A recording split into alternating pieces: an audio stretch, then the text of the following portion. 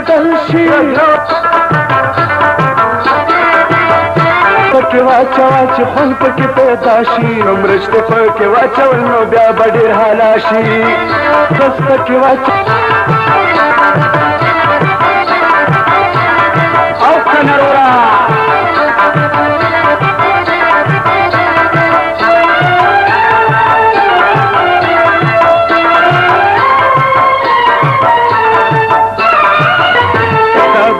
ملنګ دې پکې ډېر دي کمالونه ګرځېږه په هوا کې د اسمان کا وسیلونه